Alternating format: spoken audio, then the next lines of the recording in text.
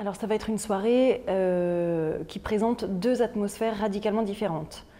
Euh, la première partie euh, pour Zanetto, c'est une ambiance très feutrée, fondée sur la relation intime des personnages. C'est une rencontre éphémère, un instant fusionnel, passionné, et puis qui s'évapore. C'est à la fois beaucoup de légèreté, beaucoup d'intimité, et, et, quelque chose comme ça de, très, de très subtil, de très fin.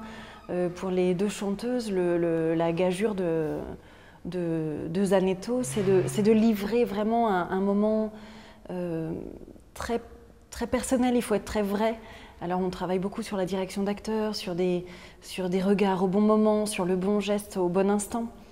Euh, alors qu'au contraire, euh, à Bouassan, euh, il se passe énormément de choses.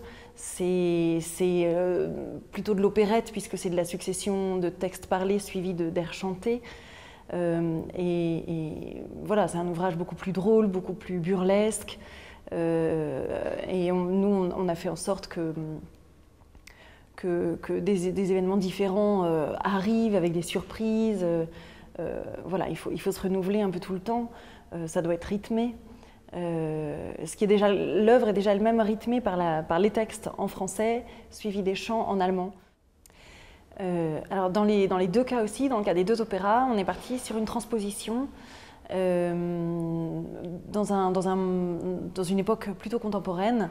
Euh, Zanetto, euh, on a transposé l'histoire de Zanetto euh, qui se passe plutôt à la Renaissance avec un ménestrel et, une courtisane. On a transposé ça dans le monde de l'opéra.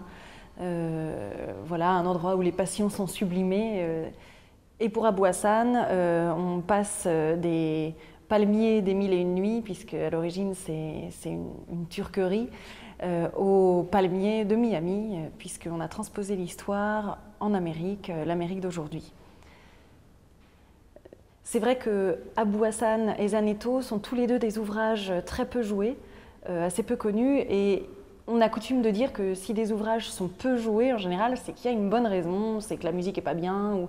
Et bien là, c'est pas du tout le cas. Les deux, les deux ouvrages sont vraiment magnifiques.